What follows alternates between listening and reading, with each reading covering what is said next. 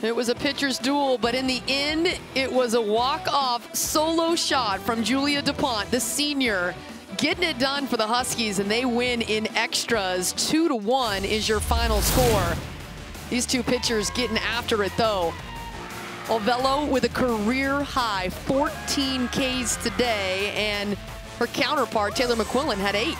Yeah, these two juniors just absolutely went to battle today, and all pitches and did just such a great job keeping these hitters off balance. And one person has to win and one has to lose.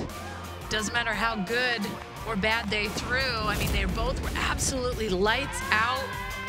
Did you see Palomino come up here in the sixth inning and gives her team the go-ahead run? You see the excitement on her face running around the bases, knowing that they think they got something, but the seventh inning, McQuillan hits Atley, and that was just enough to put that go-ahead runner on, walks Van Zee. And that brings up the sassy sophomore, Sis Bates.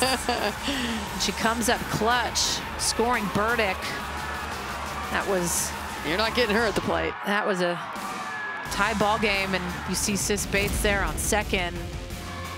And it gave the senior a chance to win it on the change left up in the zone, and she absolutely crushes that one, and McQuillan knows it. Look at that emotion. Gets a high five from her coach, Heather Tarr. The number one ranked Huskies had dropped two of three games to start conference play down at Arizona State.